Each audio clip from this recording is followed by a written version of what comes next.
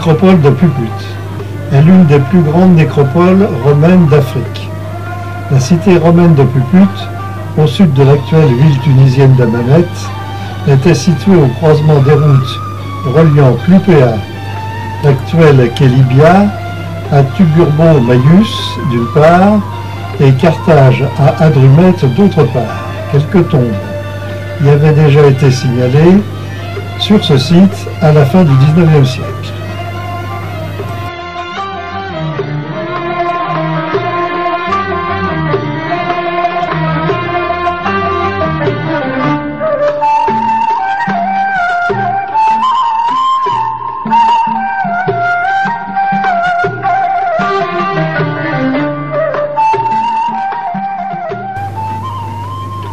Le site de Puput est à l'est de la Tunisie antique, sur une surface de 7000 m2.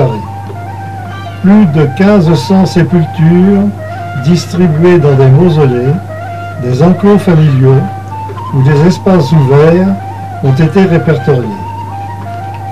Les fouilles et sondages effectués depuis 1996 permettent d'affirmer que la zone funéraire couvre au moins 7 hectares.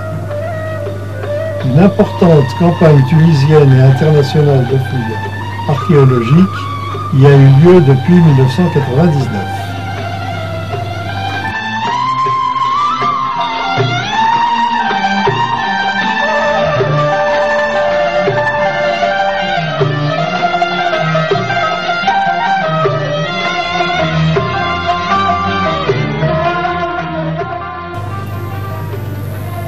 Les nécropoles se caractérisent par la juxtaposition de zones ouvertes et de 70 terrains de surface réduite, isolés par des murs pouvant atteindre parfois près de 3 mètres de haut. La période d'activité du site couvre principalement le deuxième siècle et une partie du troisième, les ultimes inhumations étant effectuées au cours du sixième siècle l'établissement du réseau d'enclos. L'aspect le plus original de la nécropole est contemporain des plus anciennes sépultures qui datent de la fin du 1er siècle.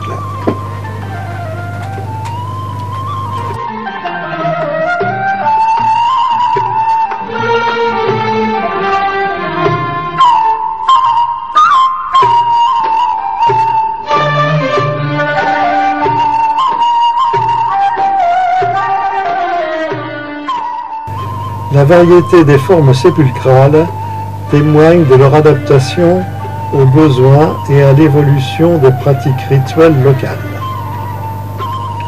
Après la combustion du cadavre, les cendres étaient recouvertes d'un tumulus de sable, généralement scellé par un caisson maçonné.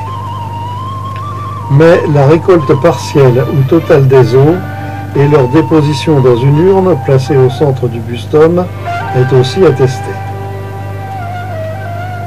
Les simples inhumations se faisaient aussi bien dans des fosses que dans des sépultures maçonnées. L'inhumation des enfants en amphore semble avoir été le lot commun. La diversité des tombes et la variété des rites attestés concernent une société qui avait été jusqu'à présent peu documentée dans une ville moyenne d'Afrique proconsulaire.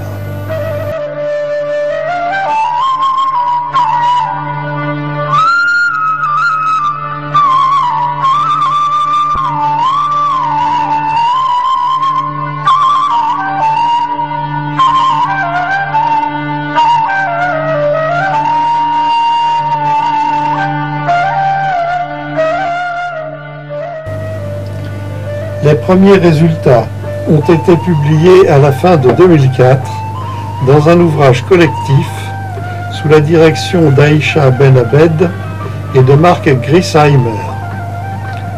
Mais le site, en dépit d'une importance fondamentale pour la connaissance des populations de cette zone, ne semble guère intéresser les autorités locales du fait du caractère peu impressionnant des vestiges.